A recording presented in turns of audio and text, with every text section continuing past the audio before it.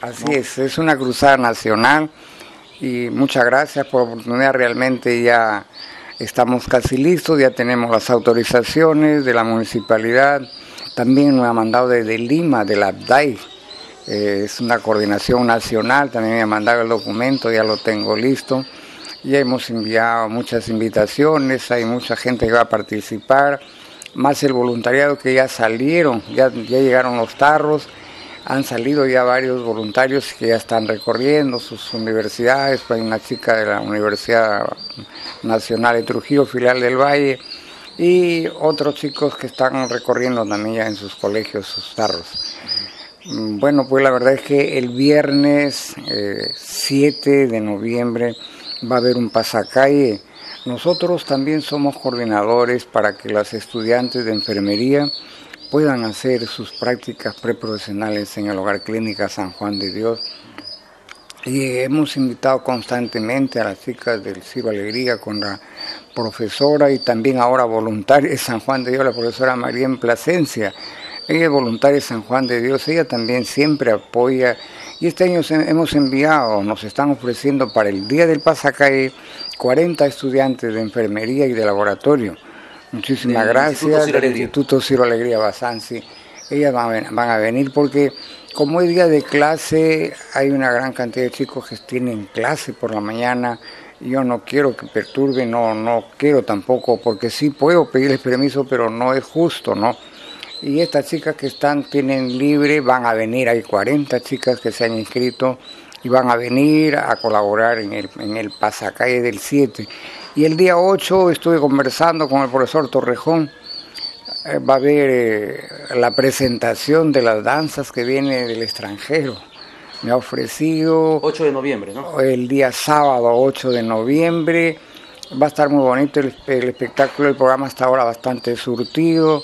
Eh, el profesor Rafael Ruiz también ya aceptó la participación de sus danzas. Hay muchos números musicales, Wilfredo Mendoza, está Toño Sosaya, está William Bringas, María José Barba Rebasa, que ganó la voz CP en el mes de enero, y también está ah, Ana Laura, que llegó a ser semifinalista en el Yo Soy de Canal Frecuencia Latina. Además de tantos muchachos, están preparando su coreografía, están, están preparando dúos, tríos, están, hay mucho entusiasmo yo invito a la población, es la mejor oportunidad que tenemos de aportar, de dar. A veces solo estamos pidiendo y para poder recibir hay que aprender a dar. Y qué mejor oportunidad ahora de San Juan de Dios, siempre en la casa. Hay a veces ropita que ya no la usamos, pero que está en buenas condiciones. Eh, en San Juan de Dios recibe ese tipo de, de donativos, medicina que todavía está, puede ser usable eh, también alimentos no perecibles y si es dinero efectivo con mayor razón. Yo les agradezco, preparen, vamos a salir casa por casa, calle por calle, vamos a salir por toda la ciudad. El día del pasaje va a ser el, el, viernes y posiblemente ese día estemos frecuentando todos los barrios, todas las calles, para que nadie se quede sin aportar. A veces los que menos tenemos somos los que más damos. También van a salir los adultos, tenemos un voluntariado de adultos, varios de ellos profesores, profesoras, van a salir, hay un coordinador, por ejemplo, que es el que va a supervigilar a los estudiantes que van a salir por las calles, eh, un profesor conocido y varias, varios profesores y profesoras que son voluntarios de San Juan de Dios, vamos a supervigilar esto para que salga de la mejor manera.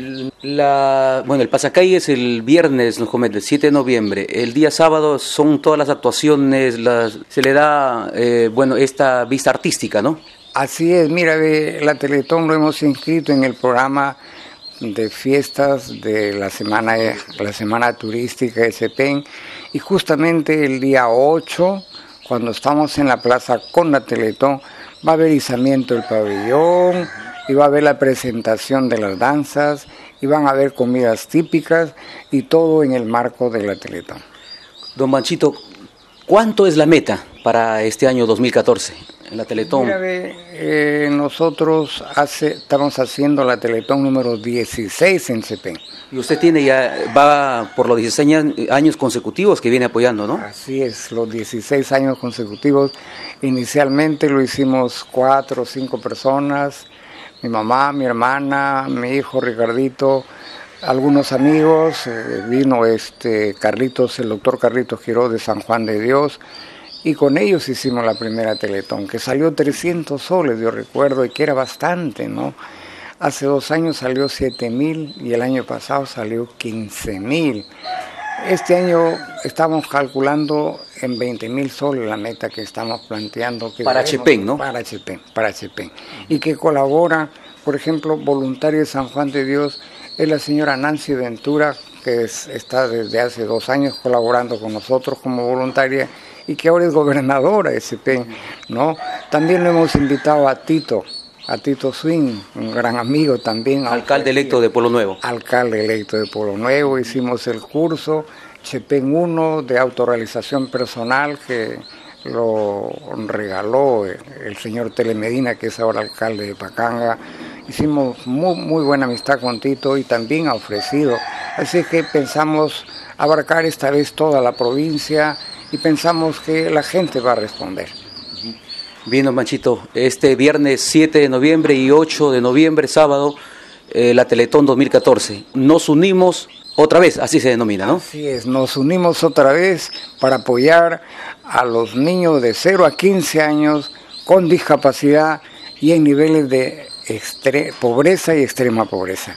Los invito a todos, muchísimas gracias al periodismo que nos está ayudando, está colaborando y el éxito también se debe a la difusión que ustedes están ofreciendo y los invito a todos. De este viernes vamos a pasar por todas las calles, espérenos que también estamos recibiendo ropa usada, medicina, pañales descartables que ellos usan, comida no perecible y si es efectivo, muchísimo.